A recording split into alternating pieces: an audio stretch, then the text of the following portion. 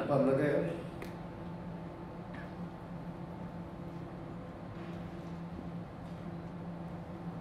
അപ്പൊ അന്ന് സുഖത്തേട്ടനായിരുന്നു ഇഷ്ടപ്പെട്ടില്ലെങ്കിൽ ഇഷ്ടപ്പെട്ടില്ലെന്ന് തുറന്നു പറഞ്ഞു. അതിനൊരു കുഴപ്പമില്ല. പക്ഷെ ഇഷ്ടപ്പെട്ടാൽ ഇഷ്ടപ്പെട്ടാൽ ദയവ് ചെയ്ത് നല്ലത് തന്നെ പറയണം. നമ്മൾ മലയാളികൾക്ക് ഒരു പ്രത്യേക ഇഷ്ടം തന്നെയാണ് ടൊവിനോയോട് കാരണം ഞങ്ങളുടെ മുൻപിൽ വളർന്നു വന്ന നടനാണ് ടൊവിനോ. ആദ്യം ചെറിയ ചെറിയ വേഷങ്ങൾ ചെയ്തു തുടങ്ങി. ഇപ്പൊ ഇതാ അൻപതാമത്തെ സിനിമയിലൂടെ മൂന്ന് കഥാപാത്രങ്ങളായി ഞങ്ങളുടെ മുൻപിലേക്ക് വീണ്ടും വരാൻ ഒരുങ്ങുകയാണ് സോണി ഓൺ നമ്മളെ have to see Thank you. നമ്മളുടെ ലിസ്നേട്ടൻ തന്നെ പറഞ്ഞ പോലെ ഞങ്ങളിവിടെ പ്രൊമോഷൻ ചെയ്തിട്ടാണ് പോയത്. നിങ്ങളൊക്കെ ഉണ്ടായിരുന്നല്ലോ. പിന്നെ ഞങ്ങൾ ഇവിടുത്തെ അവരുടെ പ്രൊമോഷൻ കഴിഞ്ഞിട്ട് മറ്റ് സ്ഥലങ്ങളിലൊക്കെ പ്രൊമോഷൻ ചെയ്യാനായിട്ട് പോകുന്ന സമയത്ത് എന്റെ ഒരു കോൺഫിഡൻസ് എന്ന് പറഞ്ഞാൽ ഇവിടെയുള്ള ആളുകളെ പ്രത്യേകിച്ച് പറഞ്ഞ് മനസ്സിലാക്കുകയോ ക്ഷണിക്കുകയോ ചെയ്യേണ്ട കാര്യമില്ലല്ലോ. നമ്മളുടെ എല്ലാവരുടെയും സിനിമയല്ലേ? നമ്മൾ ഞങ്ങളെല്ലാവരും ഈ സിനിമയുമായിട്ട് കേരളത്തിന് പുറത്തോട്ട് ഒരു മലയാളം സിനിമയുമായിട്ട് പ്രൊമോഷന് പോകുമ്പോൾ മലയാളികളോട് പിന്നെ പ്രത്യേകിച്ച് പറയണം ഞങ്ങൾക്ക് അറിഞ്ഞൂടെ? ഞങ്ങൾ നിങ്ങളുണ്ടല്ലോ എന്നുള്ള കാരണം കൊണ്ടാണ്. ആ ഒരു ധൈര്യത്തിലാണ് ഞങ്ങൾ പുറത്തുപോയിട്ട് പ്രൊമോഷൻസ് ഒക്കെ തീർത്തത്.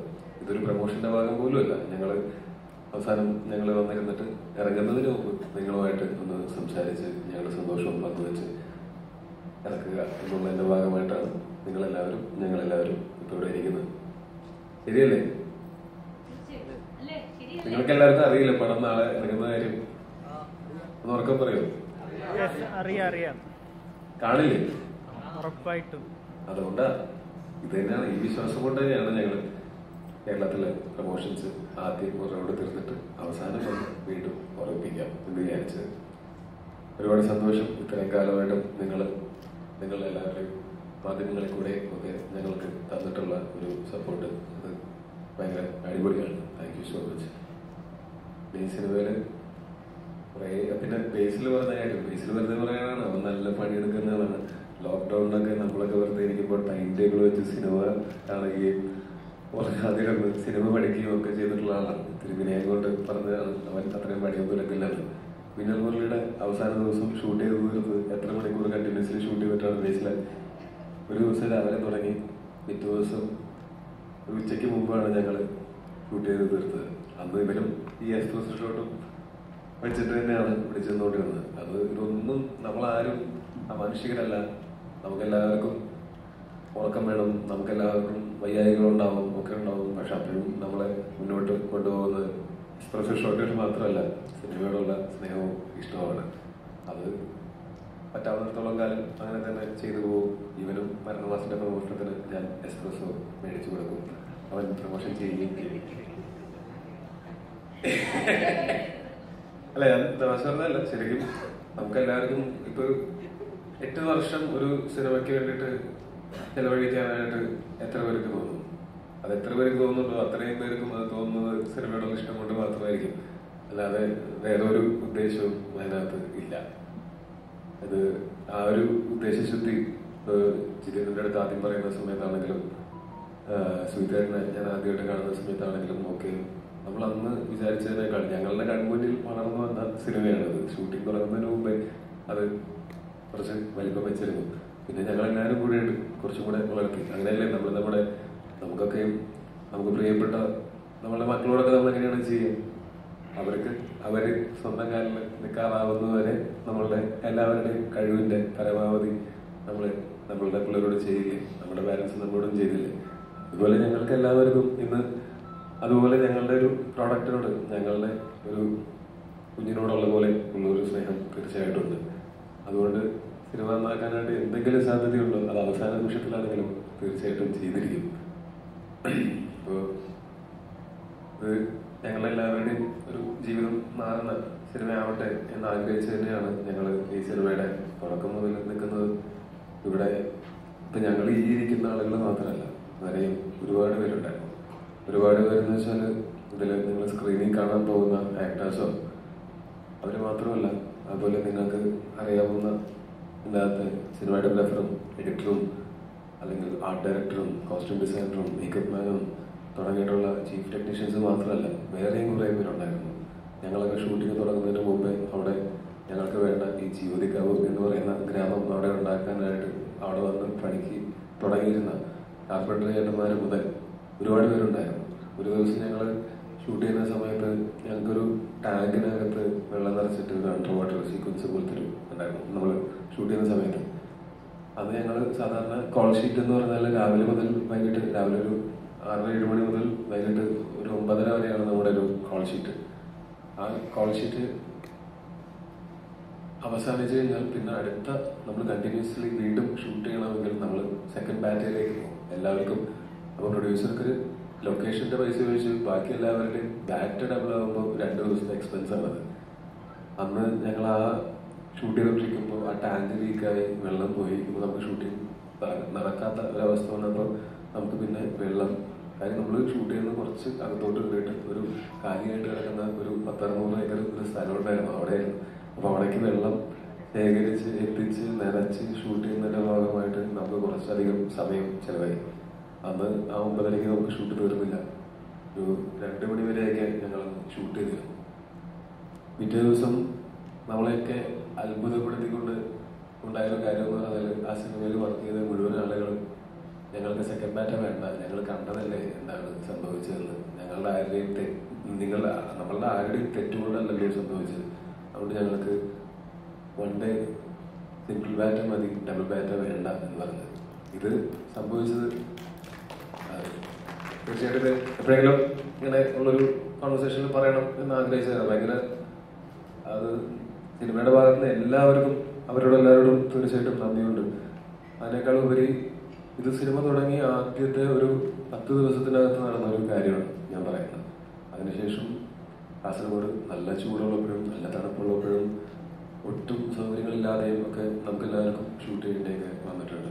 അന്നൊക്കെ നമ്മൾ ഒരു ഒരു ഒരു സംഘം ആളുകൾ ഒരു സിനിമ സിനിമ എടുക്കാൻ വേണ്ടി ഇറങ്ങിയിരിക്കുന്നു എന്നുള്ള ഒരു ഒരേ മനസ്സോടെ പ്രവർത്തിച്ചതുകൊണ്ട് മാത്രം സംഭവിച്ച ഒരു സിനിമയാണത്. ഇതിനകത്ത് ഞാൻ മൂന്ന് കഥാപാത്രങ്ങൾ ചെയ്യുന്നുണ്ട് അതിനെപ്പറ്റിയുള്ള കാര്യങ്ങളെല്ലാം ഞാൻ പറഞ്ഞു കഴിഞ്ഞു. ഇനിയിപ്പോൾ അതിനെപ്പറ്റി പറയേണ്ട കാര്യമില്ല. ഞാൻ അത് റിപ്പീറ്റ് ആയിരുന്നു നിങ്ങൾ കണ്ടു നോക്കിയിട്ട് നിങ്ങൾ വിലയിരുത്തും. ഞങ്ങൾ ഞങ്ങൾ കണ്ട സ്വപ്നം ഞങ്ങൾ ചെയ്ത സിനിമ നന്നായിട്ടുണ്ടോ എന്ന് നിങ്ങൾ പറയും. പിന്നെ ഇതിൽ ഓരോരുത്തരുടെയും പേരെടുത്ത് പറയാനാണെങ്കിൽ സുഹിതേട്ടനായിരുന്നു അതിന്റെ ഏറ്റവും പ്രധാനപ്പെട്ട സപ്പോർട്ട് സിസ്റ്റം നമ്മൾ ഒന്ന് എപ്പോഴെങ്കിലും ഈ പ്രതിസന്ധികൾ ഉണ്ടായിരുന്നു തുടക്കം മുതൽ അതിഭീകര പ്രതിസന്ധികൾ ഉണ്ടായിരുന്നു. അത് ഇപ്പം ആലോചിക്കുമ്പോൾ അതൊക്കെ തമാശയാണ്. അന്നൊക്കെ ഞങ്ങളൊക്കെ ഒരുമിച്ചിരുന്ന് കരഞ്ഞിട്ടുണ്ട് ഞങ്ങളൊക്കെ തല്ലുകൂടിയിട്ടുണ്ട്. പിന്നെ ചിരിച്ചിട്ടുണ്ട്. അപ്പൊ അന്നൊക്കെ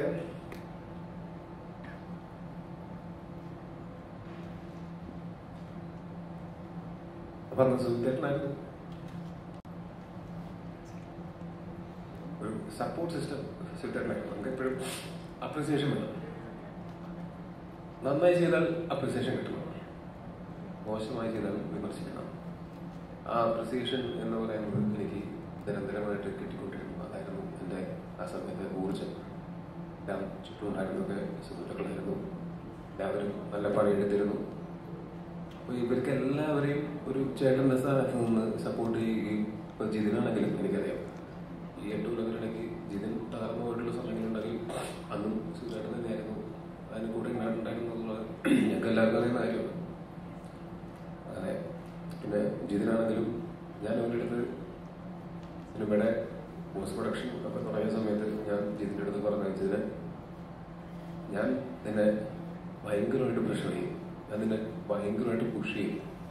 അതിൽ നീ അങ്ങോട്ട് സിനിമ ഇറങ്ങുന്നത് വരെ യുദ്ധമായിരിക്കും.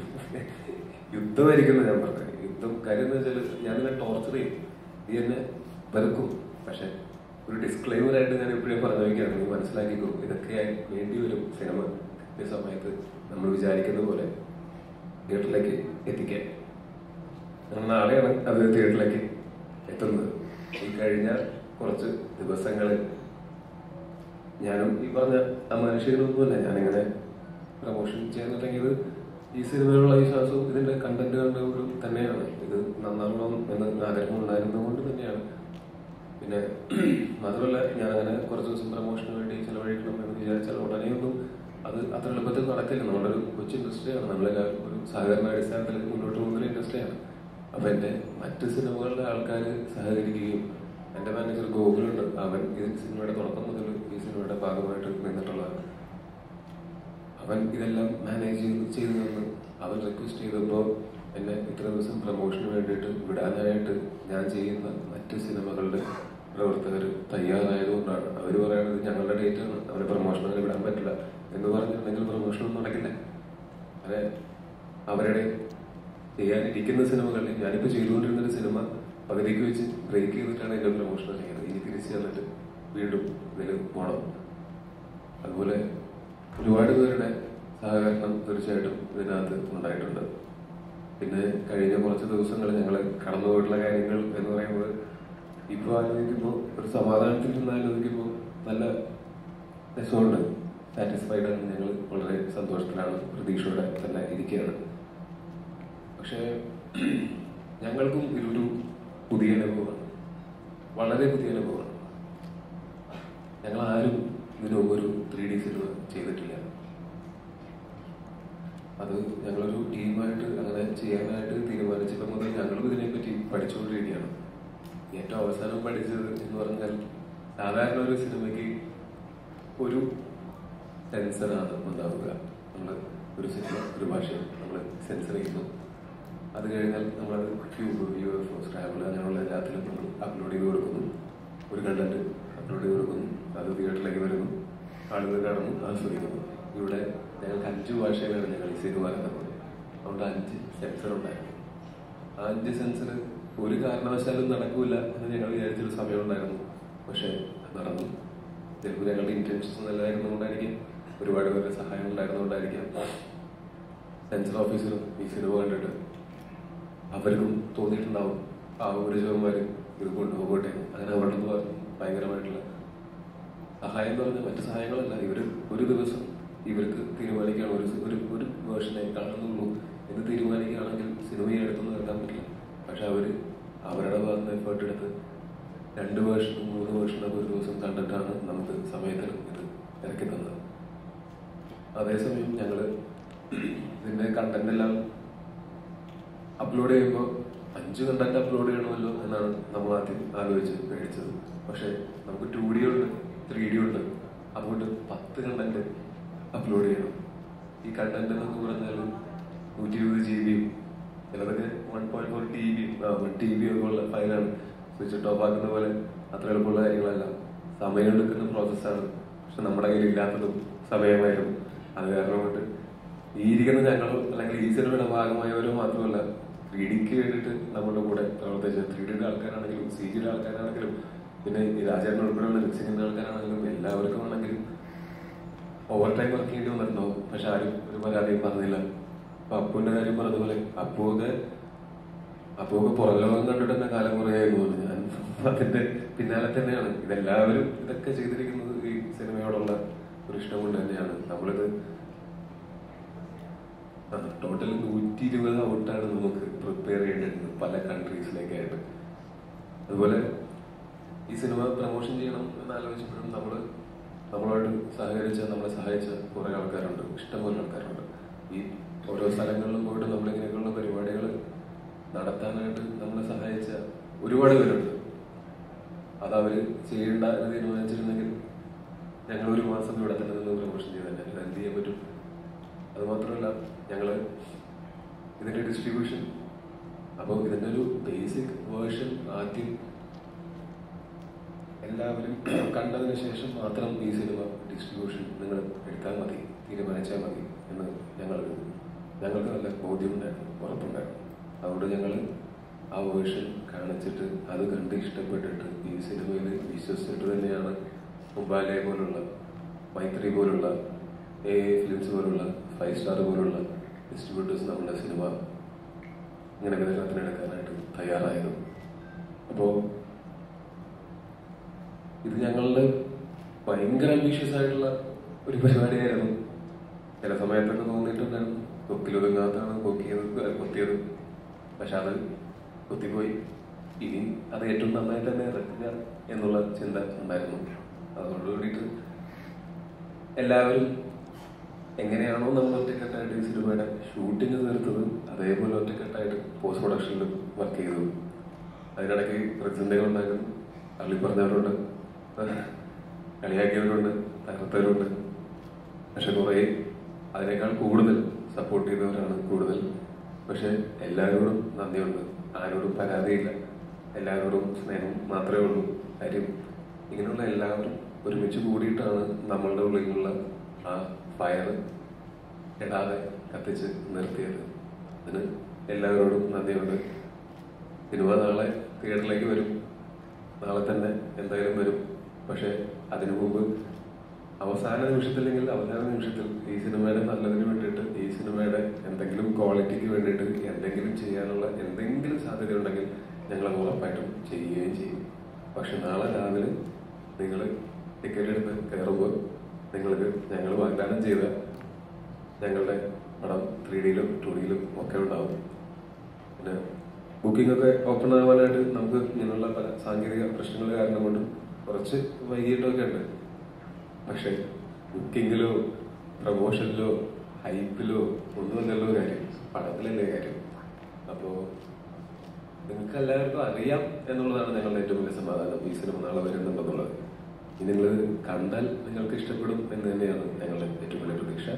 ധൈര്യമായിട്ട് ടിക്കറ്റ് എടുത്തോ ബുക്കോ കണ്ടോ. ഇഷ്ടപ്പെട്ടില്ലെങ്കിൽ ഇഷ്ടപ്പെട്ടില്ലെന്ന് തുറന്നു പറഞ്ഞു. അതിനൊരു കുഴപ്പമില്ല. പക്ഷെ ഇഷ്ടപ്പെട്ടാൽ ഇഷ്ടപ്പെട്ടാൽ ദയവ് ചെയ്ത് നല്ലത് തന്നെ പറയണം. അതുപോലെ ഇഷ്ടപ്പെട്ടാൽ നാലുപേരോട് പറയണം. ഞങ്ങൾ ഇത്രയും പണിയെടുത്തതുകൊണ്ടോ അങ്ങനെയൊന്നുമല്ല. ഒരു നല്ല സിനിമ നന്നായിട്ടുണ്ടെന്ന് തോന്നിയാൽ നാലുപേരോട് പറഞ്ഞാൽ ആ സിനിമയ്ക്ക് അത് ഭയങ്കര ഗുണമായിരിക്കും. Thank you so much